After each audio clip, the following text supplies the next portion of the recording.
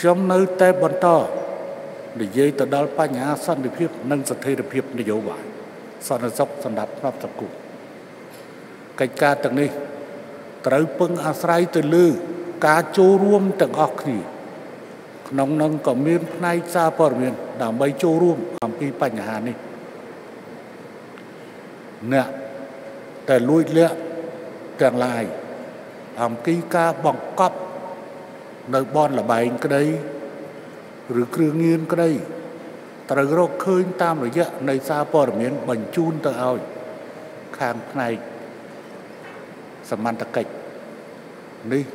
ក៏ជាគុណសម្បត្តិមួយនៃការចូលរួមចំណែកដើម្បីធ្វើម៉េចគេហៅផែនទីចង្អុលផ្លូវសម្រាប់រក្សាសន្តិសុខសម្រាប់ផ្នែកសង្គមរបស់យើងគឺ គោលនយោបាយភូមិឃុំមានសវត្ថភាពនោះឯងដែលមានចែងសពគ្រប់រួចហើយសង្ឃឹមថាយើងរួមគ្នាធ្វើកិច្ចការងារនេះគឺការងារនេះ ដែលជាកិច្ចការ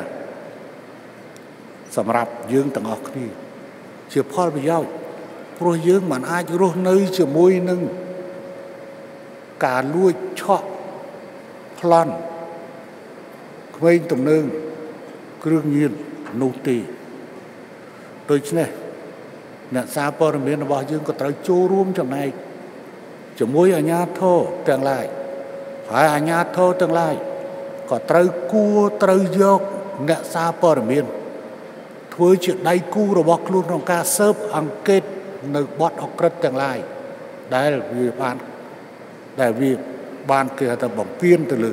ឧទាហរណ៍លបែងស៊ីស ឬក៏បញ្ហាគ្រឿងញៀនចំណុចនេះ គឺជាចំណុចដែលសូមឲ្យរួមគ្នាធ្វើកិច្ចការងារនេះឲ្យបានល្អ